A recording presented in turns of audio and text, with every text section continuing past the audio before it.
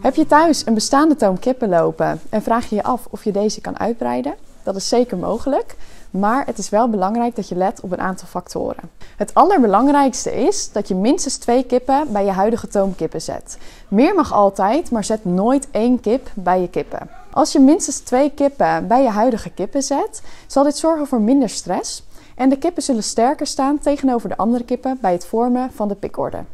Je kunt niet zomaar alle kippen bij elkaar zetten. Het is belangrijk om daarbij te letten op bijvoorbeeld de grootte van de kip.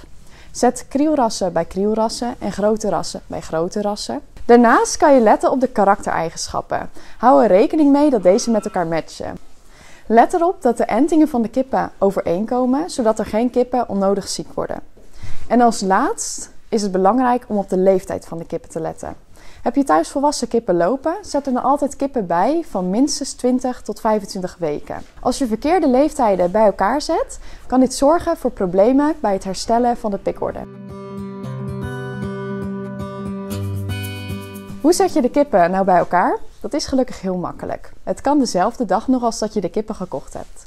Je zet de kippen die je nieuw gekocht hebt in het nachthok. En wanneer het donker wordt, zet je de andere kippen erbij op stok. Zo uh, zien ze elkaar niet, ruiken ze elkaar wel en wennen ze vast een beetje aan elkaar.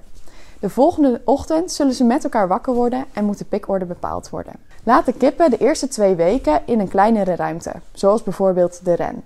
Zo kunnen de kippen wat beter aan elkaar wennen, maar ook aan jou en aan de omgeving. Na deze twee weken zijn de kippen wat meer aan elkaar gewend en aan jou en kun je de kippen lekker rond laten scharrelen.